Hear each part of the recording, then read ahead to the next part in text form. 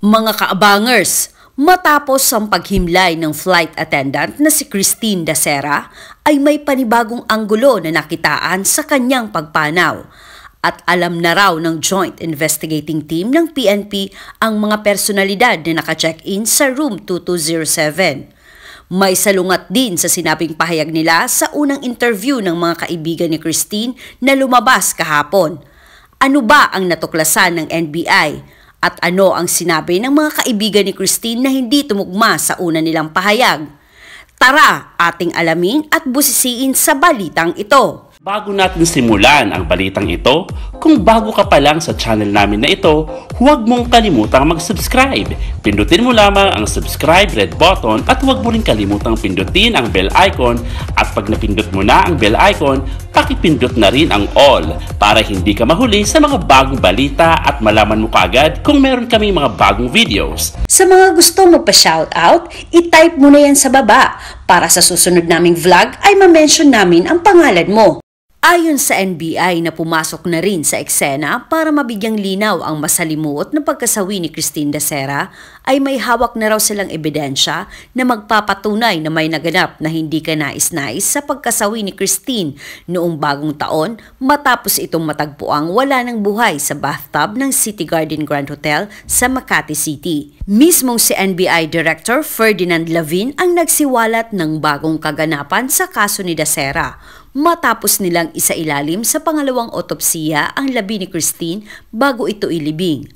Ayon sa NBI, malinaw ang indikasyon na may nangyaring hindi ka nais-nais kung saan mahigit sa isa ang gumawa. Sinabi pa ng NBI na wala pa silang konklusyon sa nangyari kumpara sa PNP na itinuring na naresolba na ang kaso. Samantala, natukoy na raw ng Joint Investigating Team ng PNP ang mga personalidad na naka-check-in sa room 2207 ng City Garden Grand Hotel sa Makati City. Ito ang kwarto na ilang beses binalik-balikan ni Christine.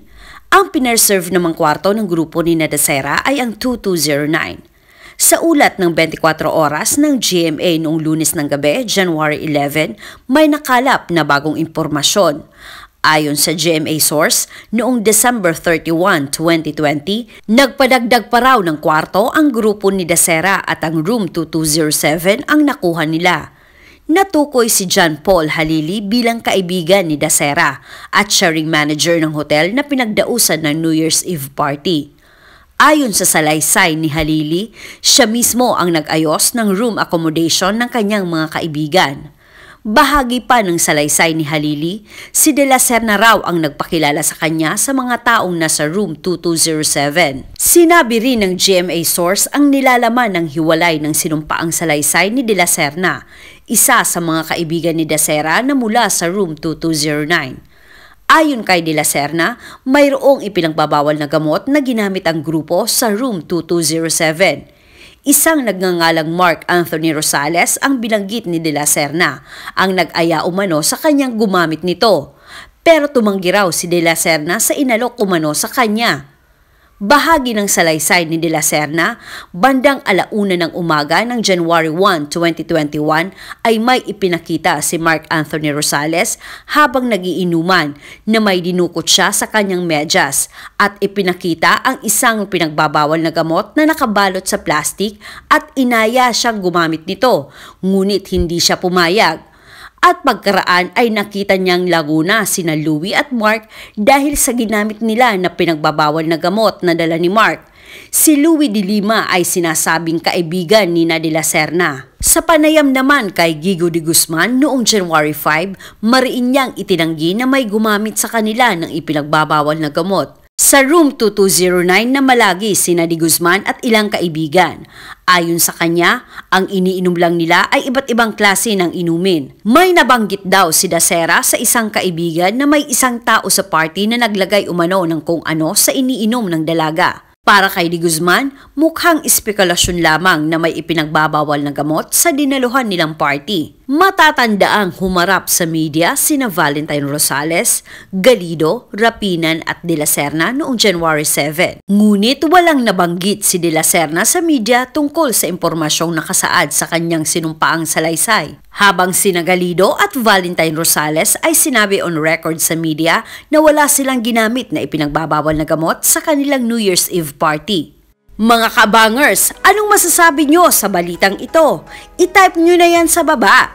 Siya nga pala, shoutout muna sa ating mga kaabangers na sina Sweet Anas Vlog, Lumeng, Carmen, Uraa, Norma from Rebecca de la Cruz, Mary Lu Sarsona from Malaysia, Jonard Holuyuhoy watching at FPA Makati City, Katribu Shorts from USA, Helen Gaschok, Chinese Pinoy Blog, Edna Viejo watching from Jeddah, Saudi Arabia, Jess Babbitt from Chicago, Luz Akasili watching from KSA, Digna Masaglang from Davao City, Jovan Cubs, Pamilya Apaap, Iero Di Japa from Jemski, Arlie Tizon, Jenny Umilig, Adski Blat, True Tuber Vault FLM, Franklin Sudsod of Taguig City, Nerissa Enovejas, Jean Gitigan and family, Maria Algin Canlobo Villar, June Pestaño Jr., Arnold Piang, Extra Low, Chai Chai Diego, Anon Simpron of Tandag City, Surigao del Sur, Junicia Millones from Minglanilla, Cebu City, Buhay Probinsya with Ka Freddy from Davao Oriental, Kim Inting at Nessa Hara from Kuwait. At para naman sa mga nagpapa-shoutout na hindi ko nabanggit ngayon, abangan nyo sa mga susunod naming vlog dahil sobrang dami po ninyo. Kaya iniisa-isa po namin. Sisiguraduhin namin na lahat kayo mababanggit.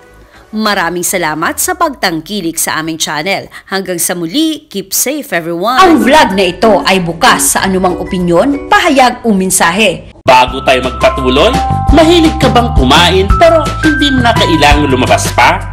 Ito, panoorin mo.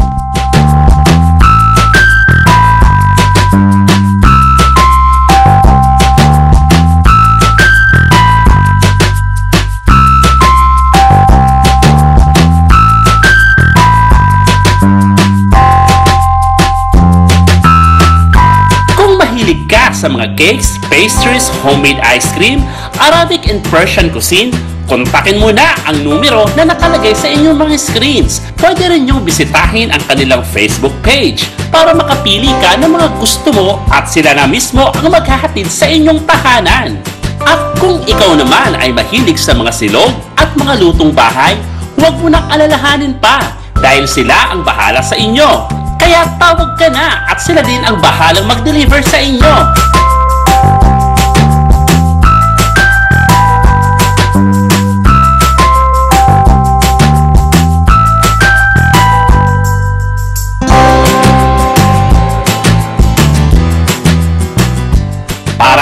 Sa mga may hilig sa mga malafashionistang damit pero sa murang halaga lamang at tumatanggap din sila ng wholesale and retail.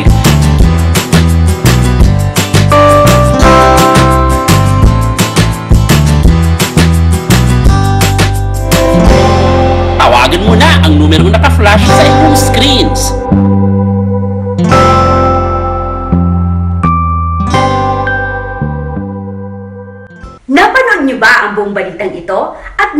Bang makapanood ng bagong balita araw-araw tungkol sa nangyayari sa ating bansa?